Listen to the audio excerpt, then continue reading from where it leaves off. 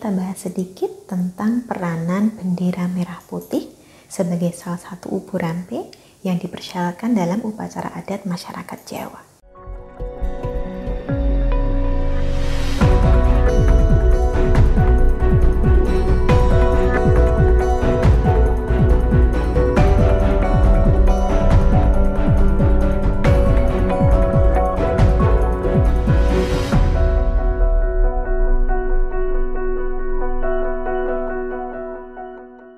Salam Rahayu, dengan saya Dewi Suntari. Apa kabar Anda?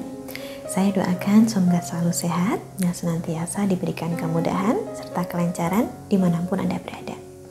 Kali ini berkaitan dengan bulan perayaan kemerdekaan Republik Indonesia, tidak ada salahnya kita bahas sedikit tentang peranan bendera merah putih sebagai salah satu ubu rampe yang dipersyaratkan dalam upacara adat masyarakat Jawa.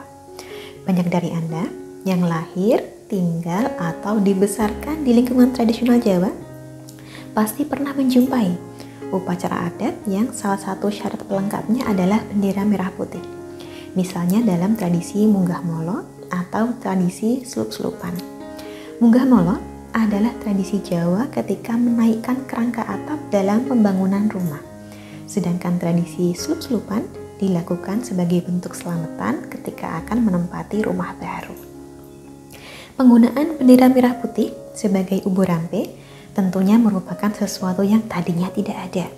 Pada mulanya dulu belum dilakukan. Baru mulai dipraktekkan seiring dengan munculnya rasa kebangsaan di masyarakat kita. Kita yang lahir di masa ini mungkin banyak yang kurang merasa karena tahu-tahu tanah air kita sudah merdeka. Padahal untuk mencapai kemerdekaan ini membutuhkan pengorbanan yang luar biasa. Itulah salah satu alasan mengapa bendera merah putih perlu ada sebagai ubu rampe, agar kita senantiasa ingat bahwa kemerdekaan ini tidak mudah untuk dicapai. Agar kita senantiasa bersyukur juga bahwasannya hidup merdeka telah menjadi hak kita sebagai manusia.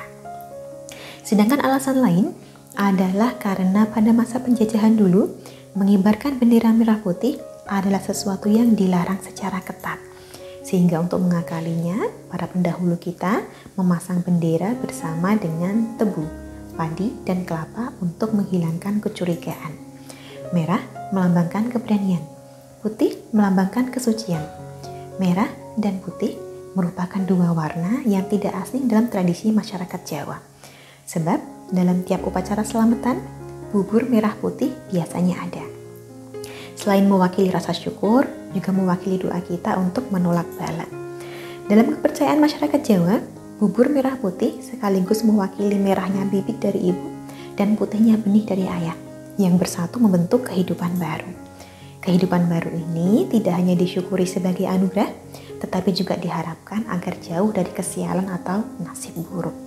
Sehingga tidak heran bila bubur merah putih ini dikatakan turut menginspirasi bendera merah putih yang kita banggakan hingga kini.